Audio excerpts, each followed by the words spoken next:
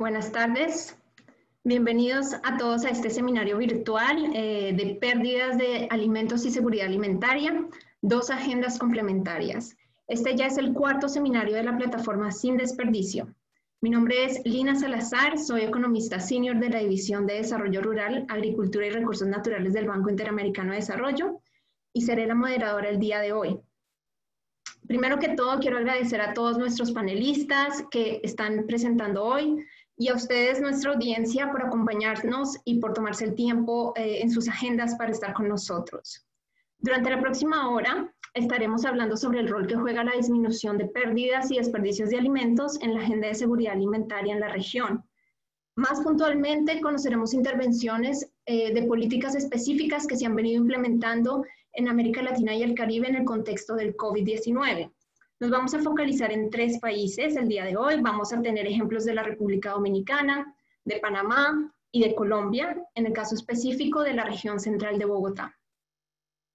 Para ello contaremos con tres panelistas de lujo, eh, quienes estarán compartiendo las diferentes políticas y acciones implementadas por sus instituciones respectivas. Primero, estaremos hablando con Romel Vargas, que es secretario técnico para la soberanía y seguridad alimentaria y nutricional del Ministerio de la Presidencia de la República Dominicana. Después tendremos a Ángel Arias, asesor de dirección de la Dirección General del Instituto de Mercadeo Agropecuario de Panamá. Y por último tendremos a Fernando Flores, el gerente de la región administrativa y de planeación especial de región central RAPE, que es la primera entidad pública administrativa y de planificación regional conformada por Bogotá Distrito Capital, y los departamentos de Boyacá, Meta, Cundinamarca, Huila y Tolima en Colombia. Antes de dar inicio, voy a dar un repaso breve sobre cuál es la agenda que tenemos para el seminario de hoy eh, y la dinámica que, que hemos planeado. Para empezar, haré una presentación breve donde revisaremos algunos de los conceptos básicos y las relaciones claves que pueden ser de utilidad para entender cuál es el rol que juega la reducción de pérdidas y desperdicios de alimentos en la seguridad alimentaria. Posteriormente, contaremos con las presentaciones de nuestros panelistas. Y finalmente, cerraremos con preguntas del público. Para ello, les invito a que envíen sus preguntas utilizando el botón de Q&A que está abajo de sus pantallas y durante todo el webinar van a tener la opción de poder utilizar esta, eh, este botón para que nos manden sus preguntas durante el seminario. Eh, queremos agradecer a toda nuestra audiencia y como una dinámica de inicio queremos saber quién está con nosotros hoy, eh, de qué sectores vienen, de qué vienen del sector público, del sector privado, de una organización internacional. Y para esto les va a aparecer una pregunta que va a salir en sus pantallas y con un clic nos van a contar de dónde vienen. Damos unos segundos y mostraremos los resultados.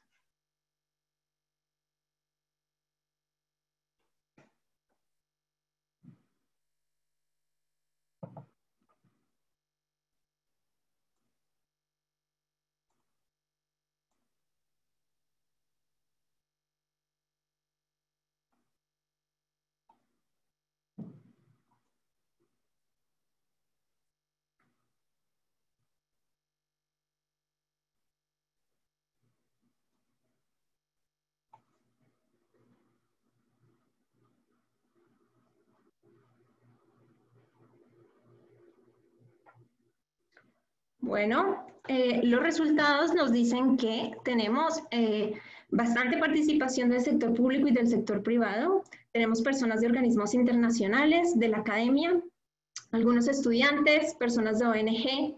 Entonces tenemos un público bastante variado. Estoy segura que va a ser de mucha utilidad el seminario que tenemos planeado para hoy. Eh, bueno, entonces para comenzar, como les venía diciendo, vamos a a repasar y a recordar algunos de los conceptos que podrían ser de utilidad eh, para nosotros el día de hoy y para ustedes. Quiero comenzar hoy eh, recordando lo que es el, el concepto de seguridad alimentaria y nutricional.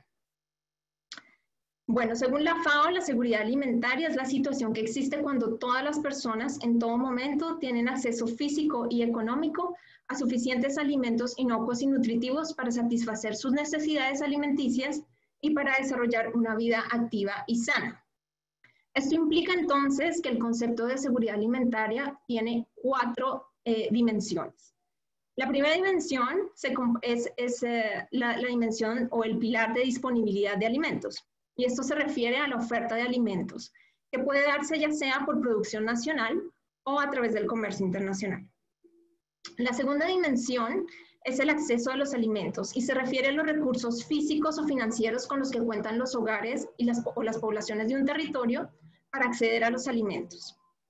La tercera dimensión es la utilización o el uso de los alimentos y se refiere a la calidad de los alimentos, su contenido nutricional y su nivel de inocuidad. Finalmente, tenemos el pilar de estabilidad, que implica la capacidad que tienen los sistemas alimentarios para mantener una disponibilidad y un acceso a los alimentos constante durante el tiempo. Todo lo mencionado anteriormente implica entonces que la seguridad alimentaria no es un concepto reducido, a, como muchos piensan, a la oferta de alimentos o a lo que mencionábamos anteriormente, la dimensión de disponibilidad, eh, sino que también depende de la demanda, sino que también abarca la demanda de alimentos o el acceso a los alimentos. Eh, y este, este acceso a los alimentos depende de los ingresos, del autoconsumo, eh, de la producción, de transferencias de alimentos, etc. Además, esta, esta, eh, esta definición de seguridad alimentaria implica también el concepto de nutrición, de qué tanto los alimentos que tomamos son nutritivos, son inocuos, ¿verdad? Y por último, tenemos el concepto de estabilidad. Queremos que nuestros sistemas agroalimentarios sean resilientes y estables a variaciones de precio, cambio climático y a los desastres naturales. Entonces, ¿dónde entran las pérdidas de alimentos y los desperdicios de alimentos en este sistema agroalimentario? Bueno, para esto Creo que es importante recordar las definiciones de pérdidas y desperdicios de alimentos. Al día de hoy, eh, no hay una, una, definición acordada a nivel global de lo que son las pérdidas y desperdicios de alimentos. Esto obviamente genera limitaciones importantes a la hora de medirlos y cuantificarlos. Sin embargo, según la FAO, la FAO eh, se han clasificado estos dos conceptos dependiendo de la etapa donde suceden en la cadena de suministro de alimentos. Entonces, las pérdidas de alimentos, como vemos en la pantalla, tiene un lugar, se refiere a aquellas eh, pérdidas eh, que, tienen lugar en las etapas de producción, post cosecha, procesamiento y distribución de la cadena de suministro de alimentos. Es decir, concierne a toda la cadena, excluyendo el momento en el que interactúan el comercializador y el consumidor final. Los desperdicios de alimentos, por otro lado, se producen al final de la cadena alimentaria y no tienen una relación estrecha con la producción, sino más bien con el comportamiento de los consumidores o de los comerciantes minoristas. Como mencionaba antes, no hay una, una ciencia exacta de cuánto, de, de, cómo, eh, cuántos, eh, cómo se miden. Sin embargo, lo que sí sabemos es que los países en desarrollo tienen mayores pérdidas de alimentos, mientras que los países desarrollados se encuentra un mayor nivel de desperdicio de alimentos. Bueno, esto implica entonces que en la perspectiva de los sistemas alimentarios, las pérdidas de alimentos tienden a amenazar de mayor manera lo que es la dimensión de disponibilidad o la oferta de alimentos, mientras que el desperdicio de alimentos vendría a amenazar principalmente las dimensiones de acceso y utilización. ¿Y por qué queremos reducir las pérdidas y desperdicios de alimentos? Se preguntarán algunos. Bueno, hay cuatro razones principales. La primera es la meta 12.3 de los Objetivos de Desarrollo Sostenible. Los países se comprometieron a reducir los desperdicios a la mitad y disminuir las pérdidas en las cadenas de producción y suministro al 2030. Además, por temas de eficiencia económica, podemos producir más alimentos con menos recursos o el mismo nivel de alimentos, eh, perdón, más alimentos con el mismo nivel de recursos, eh, reducir costos de producción, insumos, etcétera. Además, a nivel social, podemos aumentar la seguridad alimentaria y, el nivel de nutrición, ya que se mejora la disponibilidad de alimentos. Y por último, eh, muy importante, el tema de sostenibilidad ambiental. Reducir las pérdidas y los desperdicios de alimentos conllevan también a disminuir el uso de recursos naturales, a poner menos presión en lo que es la tierra y el agua y reducir las emisiones de gas efecto invernadero. La siguiente lámina nos muestra eh, en el contexto del COVID, cómo es que esta problemática está evolucionando. Y lo que hemos visto es que las pérdidas y los desperdicios de alimentos en, este, en esta crisis que estamos viviendo se, ha se han magnificado.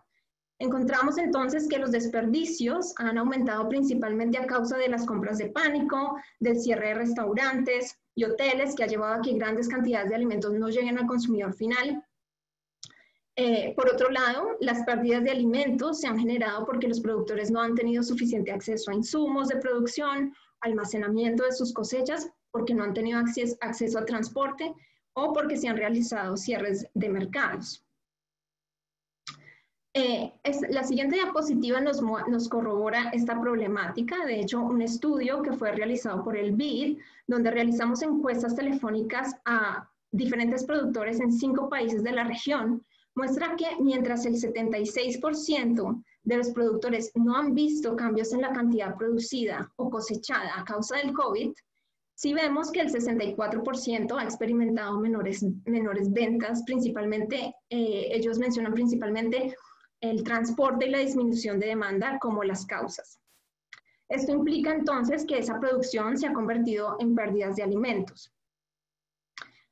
Y además, no es para nadie noticia, en el día a día, desafortunadamente, vemos noticias como la que nos muestra la siguiente diapositiva, eh, que nos, nos, nos, nos, están recordando los problemas constantes relacionados con la pérdida de alimentos que vivimos hoy a causa del COVID-19. Eh, hay pérdidas de cosecha porque no se pueden vender, eh, porque no hay logística para la distribución, no se encuentran trabajadores en algunos casos, todo esto nos está mostrando un problema muy importante de pérdidas de alimentos que puede afectar nuestra seguridad alimentaria en la región.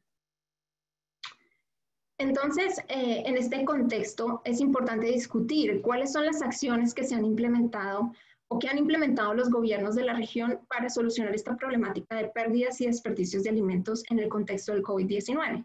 Y en esto se enfocarán nuestros panelistas de hoy.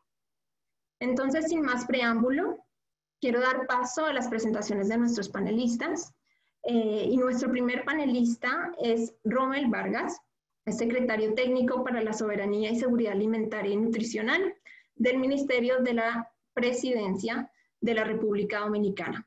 Adelante, Rommel.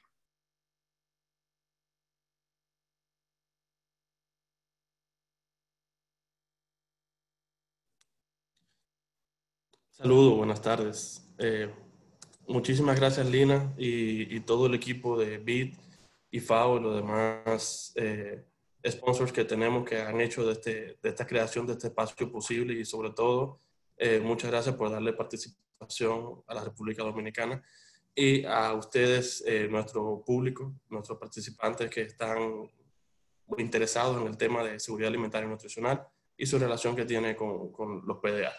Eh, a continuación, cuando yo mencione la palabra SAN, me voy a estar refiriendo a seguridad alimentaria y nutricional a fin de hacer eh, más dinámica la, exposición y tratar de sintetizar para ajustarme al tiempo disponible.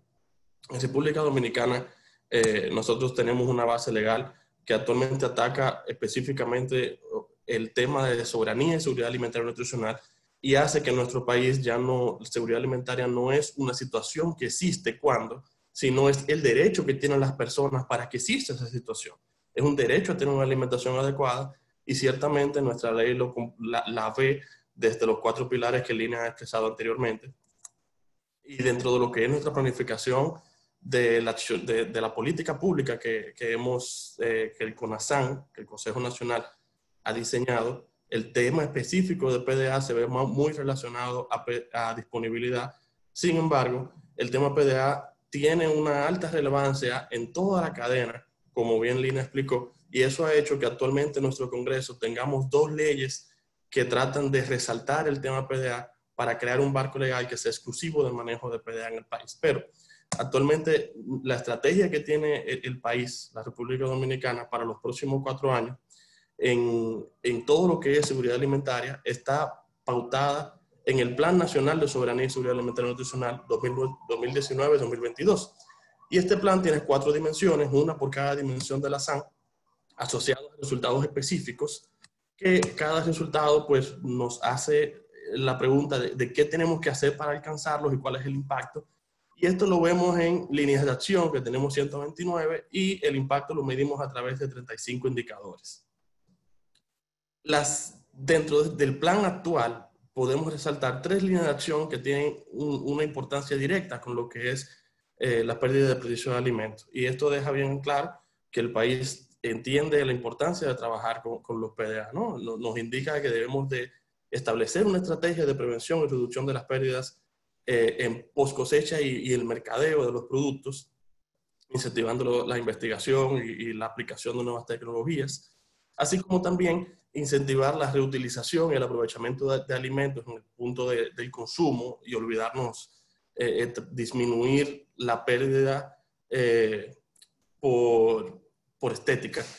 Así como también aumentar nuestras capacidades analíticas en cuanto a la cuantificación, que ha sido un reto que, que Lina resaltaba y es un reto que, que, nuestra academia y nuestras instituciones pues se enfrentan cada día a la hora de tratar de cuantificar cuánto es el total de PDA a lo largo de toda la cadena. Un sector es, fácil o, o, más sencillo verlo cuando es solamente post cosecha, pero cuando es en toda la cadena el total de PDA es todo un reto. Bien, en esta situación de, de COVID-19 con el coronavirus, aplicamos unas medidas de mitigación en casi todos los países. República Dominicana específicamente ha estado eh, desde el 18 de marzo, eh, teníamos un estado de emergencia que fue levantado recientemente y aplicamos más de 188 medidas para prevenir los impactos del COVID, pero uno de los principales impactos se daba en en lo que es la cadena de valor que trato aquí de, reducirla, ¿no? Nuestros participantes eh, deben de conocer que esto es mucho más complicado. Esta simplificación es solamente para poder eh, eh, apoyar la presentación. Y tenemos, bueno, que tenemos los productores de alimentos, ¿no? Que, que, que, que son los, los agricultores específicamente, que los producen, tenemos los procesadores, que aquí incluimos a todos. Aquí incluimos eh, eh, los, hoteles, los bares, los restaurantes, las industrias que, que procesan la, que lo procesan hacia enlatados. Y tenemos también, eh, en parte, la, la, misma casa, ¿no? Que, que, que, prepara los alimentos y los procesa. Y al final tenemos el consumidor final, que es quien ya los ingiere. Y dentro de toda esta cadena, el gobierno se mantiene siendo un ente rector para garantizar el derecho a que los alimentos tengan inocuidad, mantengan la calidad, tengan libre acceso, entre otras eh, gestiones públicas que el gobierno debe de hacer. Pero entonces, bueno, nos visita esta pandemia, el coronavirus, y crea un impacto negativo en cuanto a la demanda específicamente de los procesadores. República Dominicana es, eh, eh, es un país de, con, con, una alta participación de turismo dentro de lo que es nuestro PIB y se redujo eh, las últimas mediciones se redujo en más del 50% la actividad hotelera y turística en el país. Entonces, esto crea un gran impacto negativo en la demanda y crea inventarios en los productores que amenazan con ver sus productos eh, perecer sin poderlos colocar al mercado, sin sacarle ningún provecho y caer entonces en esa pérdida. Eh, a continuación, desde dentro de las 188 medidas que hemos tomado, pues hay muchas medidas que, que van dirigidas hacia ayudar o a impactar beneficiosamente lo que es la seguridad alimentaria y nutricional del país, específicamente 42, pero yo me voy a resaltar tres que han impactado directamente la, la, reducción de un posible PDA. El gobierno deja su rol de, de, de, de, rector de toda la cadena de valor y se convierte en un socio directo de sus productores, comprándole directamente los excesos de producción para poder distribuirlos a través de varios programas sociales, eh, incluyendo el programa de alimentación escolar, que se mantuvo en operaciones únicamente para dar eh, bolsas de alimentos a las familias, un aumento de los programas de transferencia directa en, en los programas sociales, un aumento en la utilización de mercados móviles que teníamos por municipio, todavía lo tenemos, y cada uno de estos ambientes, de los comedores económicos, que son comedores móviles igualmente, que las personas van y compran a muy bajo precio la comida. Y aquí podemos resaltar las compras de 125 mil libras de carne diariamente, de, de las cuales al menos el 25% tienen que provenir de la agricultura familiar para protegerlos, 260 mil libras de queso, un millón de litros de leche, 50 mil libras de tomate, fueron de la compra más específica, pero realmente eh, aquí hay una amplia gama eh, de compra de productos, siempre y cuando se haya reconocido un aumento eh, de, inventario y un, rubro que estaba próximo a perecer.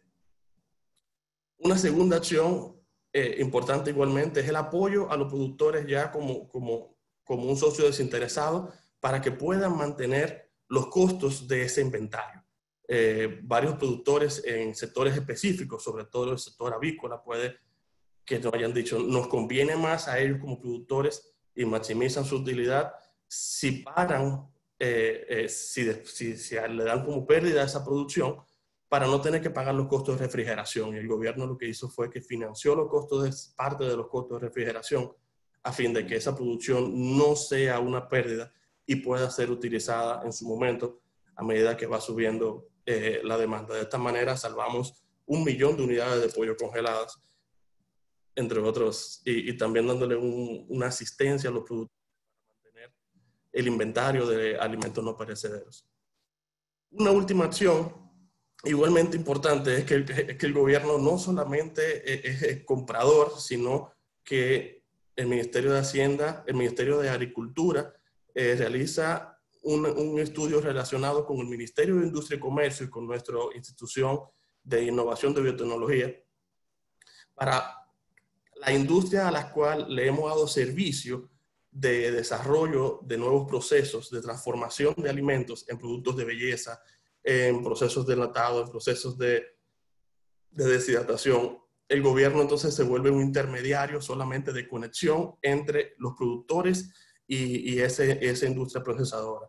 Y de esta manera, aunque no tenemos una medición de impacto todavía de cuántos fueron eh, la cantidad de, de, transacciones que se dieron bajo ese esquema, eh, sí tenemos un, una, un, registro de la cantidad de transacciones y logramos unificar a más de 80 productores de, de más de 30 rubros distintos a un sector industrial que eso evita de nuevo que eso, ese inventario haya caído en pérdida. Eh, espero haber cumplido con el tiempo y estoy disponible a, a, cualquier pregunta. Muchas gracias. Excelente, Romer. Muchísimas gracias por esta presentación tan interesante y por compartir con nosotros hoy algunas de las acciones que está tomando el gobierno de la República Dominicana en esta, en esta materia. Tengo una pregunta para ti. ¿Cómo crees que el COVID-19 ha cambiado o va a cambiar la percepción que tenemos sobre la importancia de la seguridad alimentaria en general y de las pérdidas y desperdicios de alimentos en particular. ¿Crees que em, es una agenda que va a tomar más fuerza después de la pandemia o se va a mantener como venía antes? Eh, tienes tres minutos para respondernos. Muchas gracias, Lina. Intentaré responderte tres minutos. Eh, mira, eh, el tema de, soberanía y seguridad alimentaria nutricional en la República Dominicana ya estaba tomando importancia desde 2018 que iniciamos con la operación de lo que es el CUNASAN en todo lo que son los, los estratos de, público, de, de, operación público y también de operación privado. Y esto se, se puede ver en la declaración del 2020 como año de la consolidación de la seguridad alimentaria de la República Dominicana eh, declarado así por el presidente bajo decreto a principios de año. Claro, eh, el coronavirus ha hecho que no solamente sea el año de eso, sino que también sea el año de la pandemia del coronavirus. Pero eh, ya se había retomado la importancia de la seguridad alimentaria en, los, eh, en la élite política de los altos estratos. Y frente a la pandemia, lo que se ha demostrado en la sociedad en su conjunto, porque gran parte importante de todo esto es la sociedad dominicana organizada, que son esas ONG, esos gremios, eh, y todas estas organizaciones que trabajan hacia la seguridad alimentaria, pues ha quedado muy en claro para todas esas agendas de trabajo que lo primero es que las personas tengan el derecho a tener una alimentación adecuada.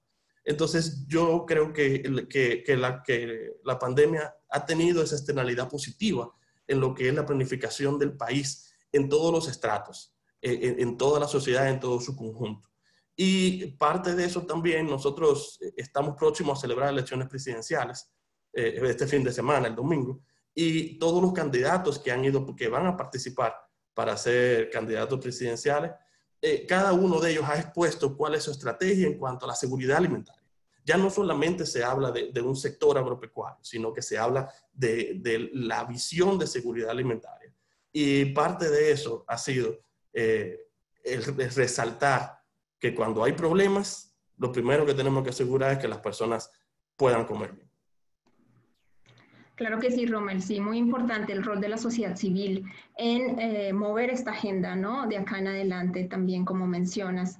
Muchísimas gracias por tu respuesta. Eh, quiero recordarle a los participantes que las presentaciones y la grabación de este webinar será compartida con todos ustedes. Entonces, para que lo tengan en cuenta. Bueno, ahora eh, Quisiera dar la palabra a nuestro segundo panelista. Eh, Ángel Arias es el asesor de la Dirección General del Instituto de Mercado Agropecuario IMA de Panamá. Adelante, Ángel.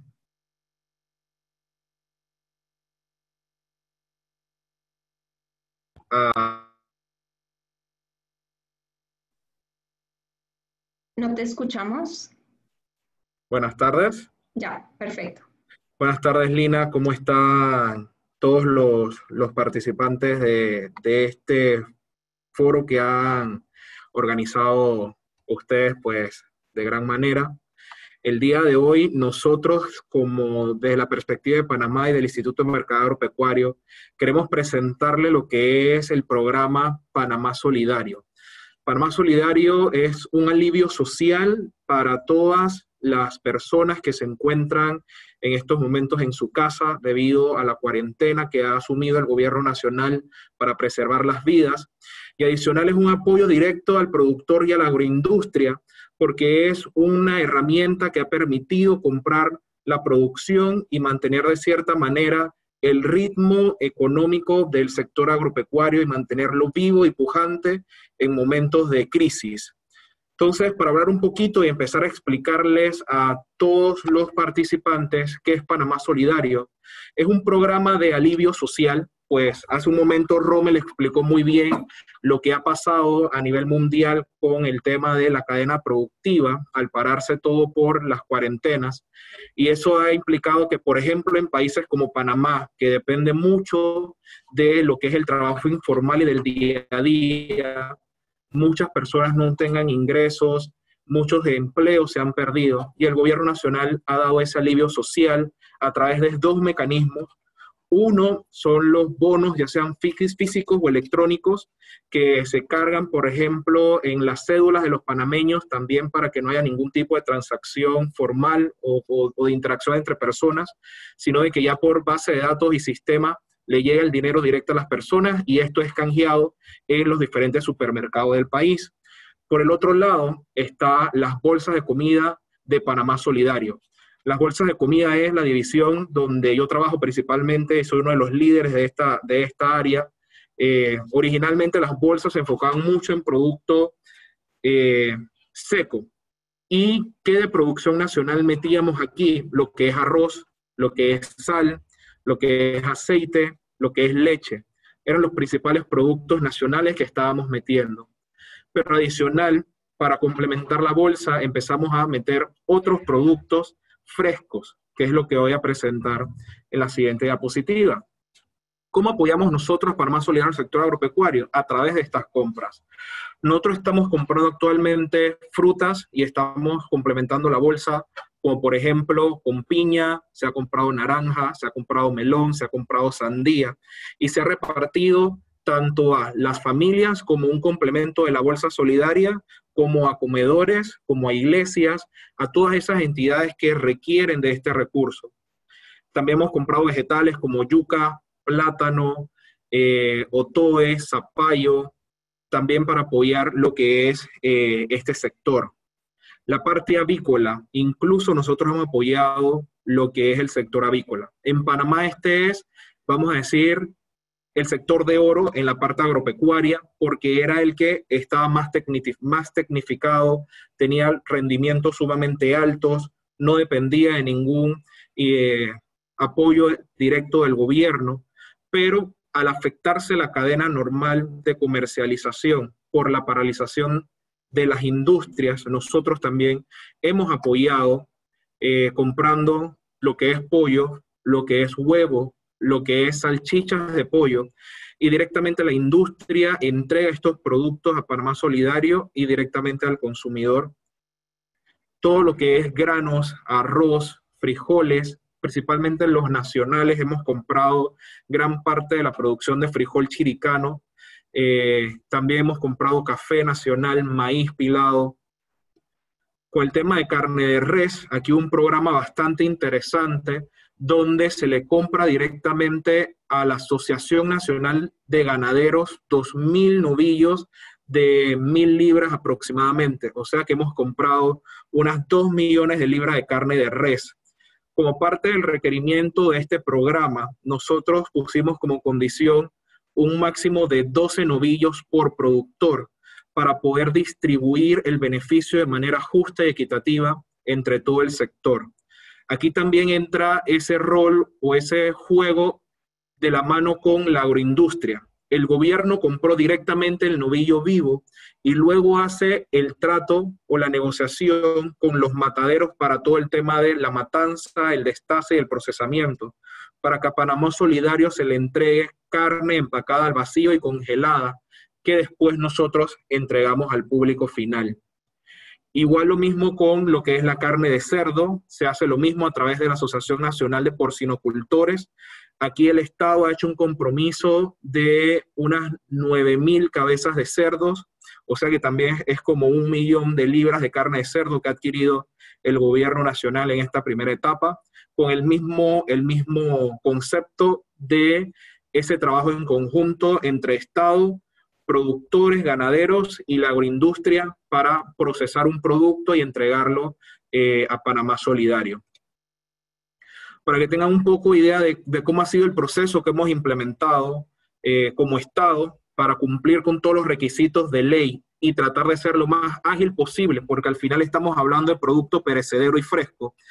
Lo que hacemos es que el productor directamente envía una nota a través de nuestras regionales o las regionales del ministerio, donde hace su oferta de producto. Luego esa información se valida porque nosotros queremos llegar es a los productores, no a intermediarios. Ese es el rol principal, apoyar a los más necesitados del sector productivo. Luego de eso pasa una subcomisión que evalúa que se esté ofertando el precio justo, el precio correcto. Se evalúa una herramienta que tenemos dentro de Lima, que es el CIPAN, donde se publican diariamente los precios de mercado para que de esa manera nosotros no estemos comprando por encima de un precio de mercado, o sea, que sea un uso correcto de los bienes públicos. Luego eso pasa a un comité ejecutivo para aprobar las compras. Por ley eh, es un poco el mecanismo. Luego se hace una carta de compromiso y una solicitud de compras. Con eso el productor entrega según su capacidad, ya sea en una agencia regional o en centros post cosecha que tiene el Estado o directamente a, a los centros de distribución de comida que tiene Panamá Solidario. Luego se hace el trámite de la orden de compra y finalmente la gestión de cobro por parte del productor. ¿Cómo manejamos la logística del recibo al ser este un producto pues perecedero? La verdad es que como primer punto depende del rubro y la capacidad de productores. Nosotros hemos trabajado entre Parmas Solidarios, tanto con productores de agricultura familiar como con productores e industrias de producto de calidad de exportación. Entonces, cada uno tiene sus capacidades, ¿no? Por ejemplo, están las entregas regionales. Hay productores pequeños que simplemente tienen la capacidad de entregar en un centro post cosecha o una regional, principalmente un producto, vamos a decir, más perecedero como lo es un melón, que manejo post cosecha, estarlo moviendo un otro, de un lado al otro, puede ocasionar mayores pérdidas por manejo. Entonces se entrega directamente en la regional y se distribuye en la región donde es producido. También está la entrega directa al punto indicado. Esto lo hace mucho lo que es la, industria avícola que tiene esa capacidad logística de decir, nosotros para más Solidario vamos a entregar bolsas en la comunidad más lejana que existe, pero que tiene carretera. La empresa avícola pone el camión refrigerado con todos los productos y lo coloca en la comunidad que nosotros le estamos indicando y ahí se hace todo el, el proceso de recepción de producto para que esa sea el elemento, la garantía que tiene luego el productor y la asociación para cobrar su dinero. Y bueno, también está la cuarta opción, que es a través de los recursos del Estado y otras contrataciones logísticas que nosotros tenemos. Ejemplo, un productor puede llevar su producto a el centro post cosecha nosotros hemos contratado servicios de transporte eh, o también tenemos los camiones o pickups del de, eh, gobierno y entonces a través de esos recursos movilizamos la mercancía hacia donde es eh, requerida. Entonces, en resumen, pues Panamá Solidario ha sido un alivio social, no solo para los miles de panameños que se alimentan a través de las bolsas de comida, sino también ha sido una herramienta fundamental para sostener el sector agropecuario. definitivamente esto ha permitido pues salvar mucho de las cosechas, seguir incentivando al sector de que tiene un mercado cautivo y esto no habría sido posible si nosotros no hubiésemos trabajado sinérgicamente como ministerio y como entidades ejecutoras, como lo es el, el, Instituto de Mercado Agropecuario y otras conexas que están trabajando fuertemente para llevar Panamá Solidario a buen fin. Entonces, ese es un poco lo que quería exponerles, cómo nosotros estamos apoyando toda esta gestión a través de Panamá Solidario. Muchísimas gracias, Ángel. Eh, muy interesante tu presentación. Me gustó mucho lo que mencionabas de cómo se ha combinado eh, este apoyo para eh, de alguna forma acercar la oferta y la demanda, pero sin olvidar a los pequeños productores y también considerando la, agroindustria. Es decir, con, una, ah, con un, un, scope, abarca bastantes, bastantes eh, eslabones de la cadena de, suministro de alimentos. Es muy interesante. Yo quería que me contaras un poco sobre el tema de las bolsas de comida y cómo han evolucionado con respecto al tema nutricional. Por lo que entiendo, eh, ustedes al principio estaban tenían ciertas bolsas de comida y se dieron cuenta después de la importancia que tenía el tema de la utilización de alimentos o el tema nutricional. Cuéntanos un poco eh, cómo ha sido este, este avance y si hay algún, alguna relación entre estos, eh, estas compras y, la, y los programas de alimentación escolar en Panamá. Em, tienes tres minutos para responder la pregunta. Mira, eh, para hablarte un poquito, pues sí, nosotros, nosotros cuando iniciamos este programa, eh, nadie está esperando una pandemia. Entonces, el IMA tenía dentro de su rol natural inventarios de productos, principalmente arroz, aceite, eh, enlatados, y esos fueron los primeros nueve productos con los que arrancamos. El IMA puso a disposición del país todo el inventario que tenía para iniciar las bolsas, pero solamente eran nueve productos. Luego, cuando se fue monitoreando qué otros productos podíamos meter que estuviesen a disposición, eh, por ejemplo, se evaluaba el tema de la, mortadela, la jamonilla, como también se le dice en otros países. Ese producto lo empezamos a, a meter, pero tengan en consideración que Panamá Solidario en promedio está haciendo 30 mil bolsas de comida al día. Es un gran volumen de inventario que se requiere y cuando se evaluaba lo que había en el país de ese producto, que si bien es eh, producto del cerdo, no se, no manufactura en Panamá, por ende era importado y era caro, no había los inventarios necesarios. Entonces ahí es donde, ok, en lugar de dirigir los, los productos hacia producto importado, que a pesar de que sí beneficia a la industria local, no beneficia directamente al productor, vamos a complementar. Y ahí fue donde empezamos a meter todos los otros rubros. Y también analizamos qué nutre más, qué rinde más a una familia una lata de jamonilla o un paquete de salchicha de pollo, un paquete de salchicha de res o una bolsa de 5 libras de carne que le estemos entregando ya sea de res o de, cerdo o un pollo. Entonces, sí hubieron todos esos análisis de ese factor de disponibilidad, de apoyar directamente al productor y de qué rendía más, tanto a nivel eh, de, de cantidad como a nivel nutricional. Excelente, muchísimas gracias por tu respuesta. Em, bueno, vamos ahora a dar paso a nuestro tercer panelista.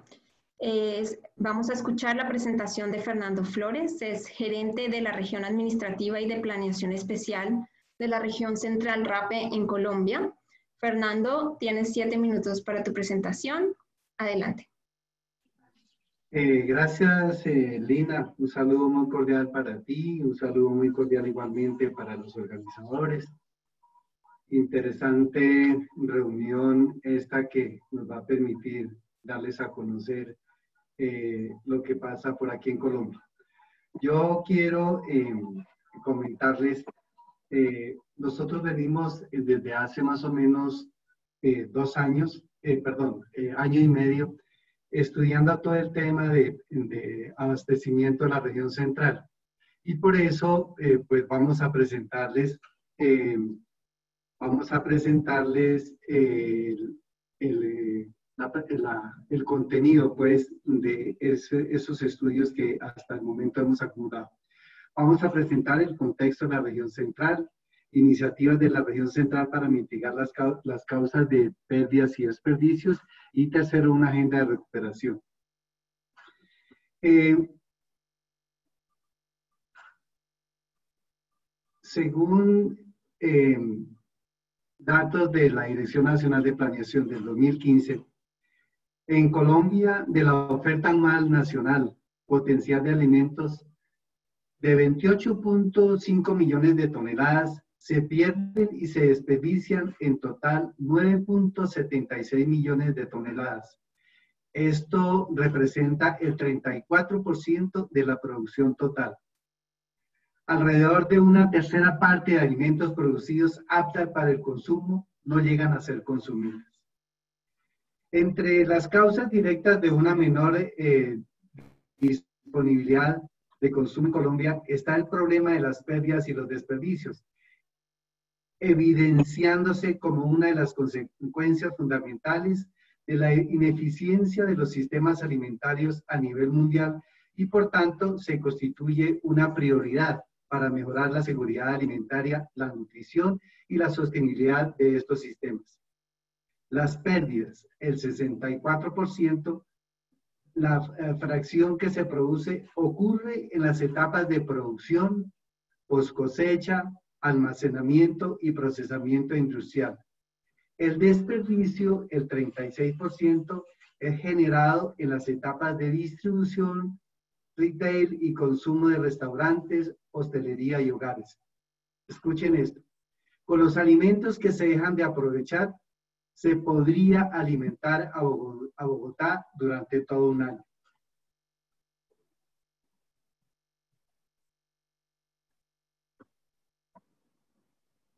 La desagregación que pueden observar es muy desalentadora. Muestra la clasificación por tipos de alimentos. Las mejoras conseguidas en la producción tendrán mayor impacto en la reducción de las pérdidas y los desperdicios por el efecto de la articulación y dependencia sobre procesos posteriores. Al ser la cadena de frutas y verduras la más afectada y coincidir con los principales productos de la región central, se convierte en una de las principales preocupaciones de la región central RATE y sus asociados. Cada kilogramo de productos alimenticios que se pierde o se desperdicia incluye todos los recursos de agua, suelo, aire, insumos de producción, transporte, etc. Y no solo eso, se convierte en un problema ambiental adicional al convertirse en residuos sólidos que deben disponerse en rellenos sanitarios. La participación de la región central en las pérdidas y desperdicios por categorías de alimentos mantiene el mismo comportamiento que los datos nacionales. Esto es, la producción de frutas y verduras es la más sensible a la pérdida y los desperdicios. Adicionalmente, según el DANE, en el año 2017, la participación de la producción de frutas de la región central respecto a la del total del país es del 15% y la de verduras el 57% respectivamente. Esto es alrededor de la mitad de la oferta disponible de estos productos para el país se concentra en la región central. En la región central se pierden y desperdician 5.6 millones de toneladas de, alimentos.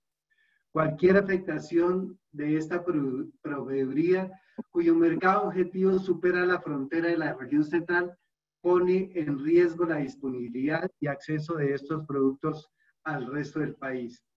Acordémonos que la región central la componen cinco departamentos y la capital de la República. 5.4 millones de habitantes, de los cuales eh, el 33.8 representa la producción agrícola del país. ¿Cuál ha sido el impacto por la pandemia?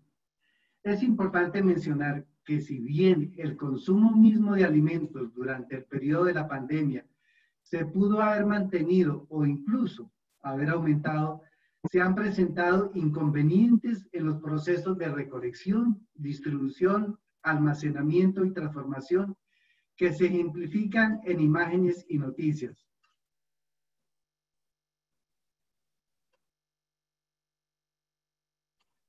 Ejemplos implementados en los territorios eh, eh, de la RAP.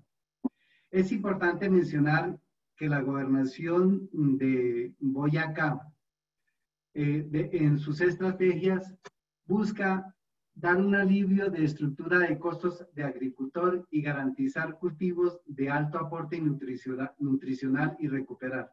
Los departamentos por sí solos han iniciado una serie de tareas que van a permitir darle un apoyo especial al campesino, desde la asesoría, proveerle de, sus eh, abonos, de sus insumos, para garantizar que no se pierda el, consumo, eh, en el, perdón, que no se eh, ponga en riesgo el, sí, el consumo pues a, a las ciudades especialmente. La gobernación de Cundinamarca, por ejemplo, eh, solo para, mencionarte, disculpa que te interrumpa, te quedan dos minutos. Es importante mencionar también que la gobernación de Cundinamarca, en asociación, con la Plaza de Bogotá, está formulando un proyecto para construir una planta de bonos orgánicos. Si bien eso no ataca de raíz el problema, es interesante el aprovechamiento de esa biomasa y la reducción de impactos sanitarios. Eh, ¿Qué se ha hecho? Eh, en la región central también se han organizado mercados campesinos, como lo que se están organizando en la ciudad de Bogotá. Se están organizando igualmente. ¿Qué funciona esto? Que no me están pasando las diapositivas.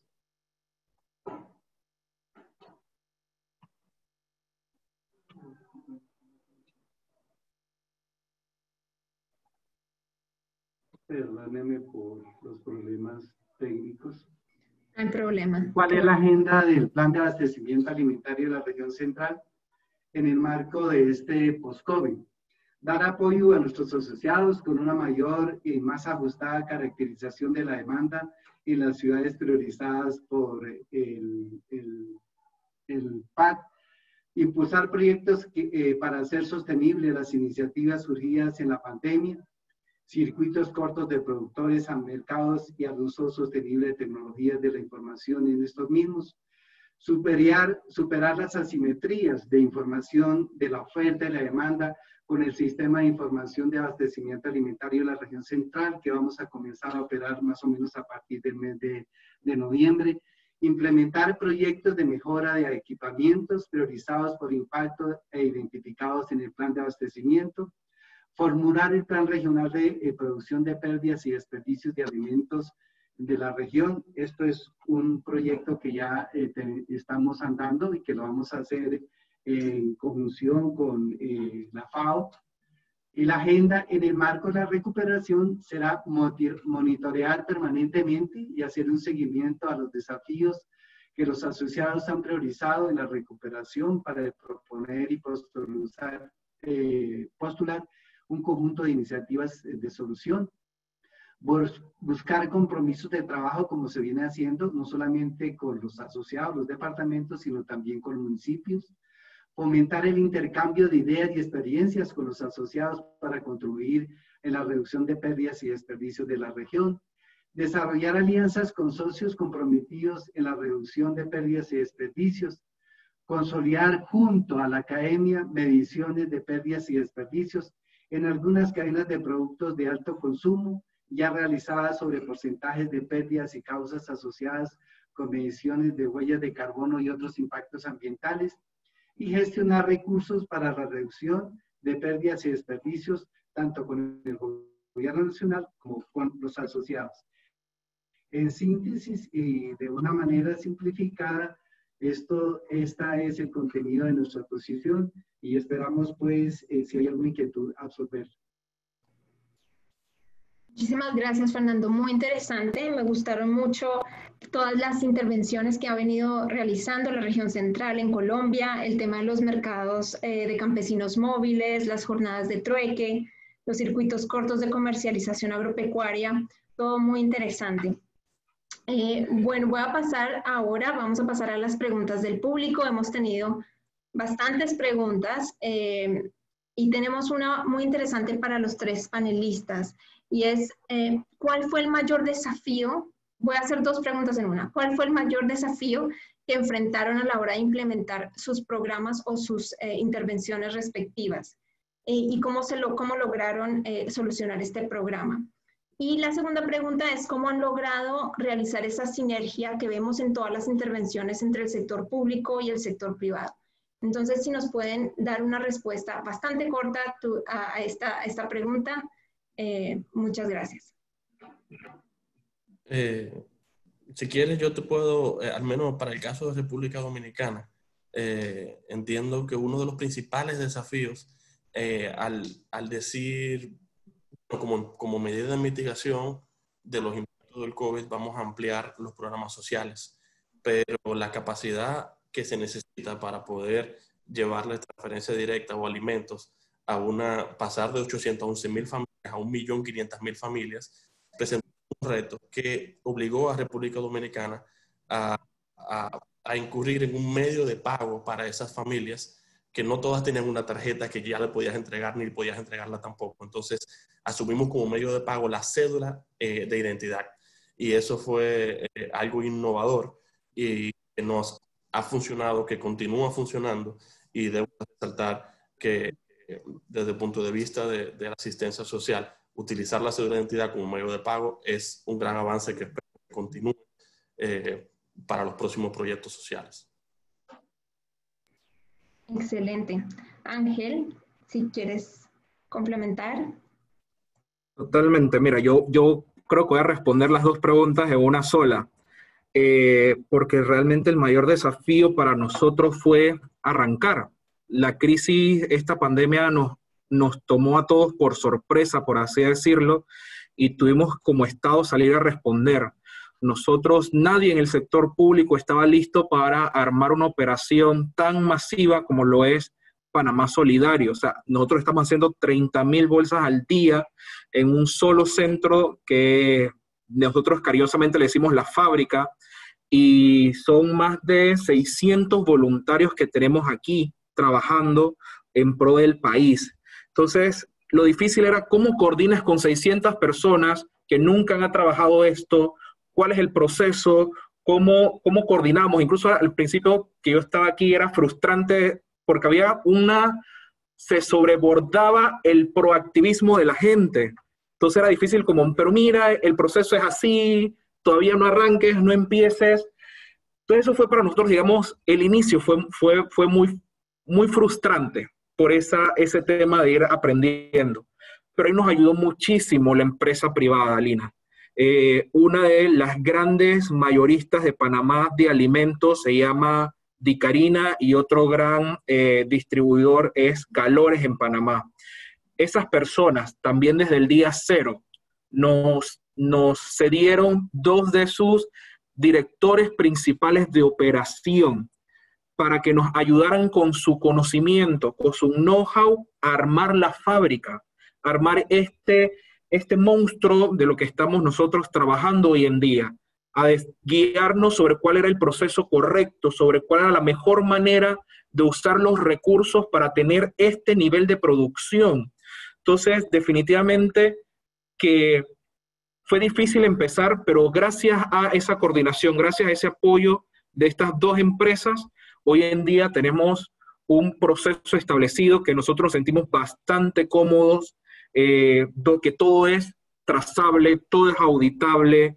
Eh, yo antes estaba metido en la operación full, ya yo me siento bastante tranquilo de que mi equipo lo está llevando 100% de la manera correcta porque establecimos los procesos, Entonces ha sido, ha sido bastante gratificante y yo me siento muy contento del resultado de lo que hemos logrado en Panamá Solidario, no solo a nivel de producción de bolsas, sino otra vez por todo el apoyo que hemos llevado tanto a miles de familias panameñas a través de las bolsas como a los productores y la agroindustria nacional. Excelente. Fernando, no sé si quieres eh, intentar responder la pregunta también. Sí, yo igualmente la respondo resumiéndola de una sola manera. El gobierno nacional ha venido encabezando eh, del tema del, crecimiento de la población, como a todos nos cogió absolutamente, pero también le da facilidades a los departamentos y a los municipios mediante los diferentes programas sociales para atender el abastecimiento que tiene que hacerse a todas las ciudades. Nosotros específicamente en la región central se han unificado una serie de criterios tanto por la alcaldía de Bogotá como por los departamentos y es de solidaridad absoluta. Eh, si bien eh, nosotros eh, agrupamos a los departamentos y a la capital de la República en el mayor número de población del país, pues como les digo, ha sido irrelevante, ha sido muy importante la solidaridad que se, se ha, ha tenido entre estos cinco departamentos y la capital de la República, permitiendo que no se vaya, no se presentara pues ningún desabastecimiento y eh, poder llegar con los, con los, programas, con los mercados directamente a las poblaciones más pobres y vulnerables de, de, de las ciudades. Eh, ha habido iniciativas eh, tanto de los departamentos como los, los, municipios. Y una que se mencionó hace poco también es, por ejemplo, que se llegó a, a, experiencias tan bonitas como, por ejemplo, el trueque, donde se entregaban, por una parte de un departamento, se estaban entregando abonos orgánicos y se cambiaban por frutas. Eh, eh, nosotros contamos con la mayor, el mayor centro de abastos del país y las dificultades también porque eh, el COVID llegó también a este centro de distribución mayor que tenemos y también se estaba irradiando hacia los eh, distintos municipios de la región central.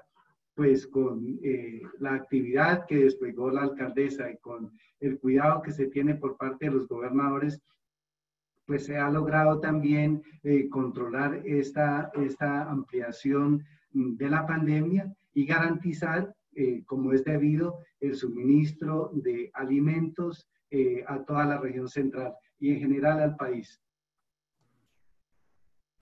Muy impresionante, eh, Fernando, tú, lo, que mencionas. esa es una pregunta que nos acaba de llegar del público también, para ti específicamente.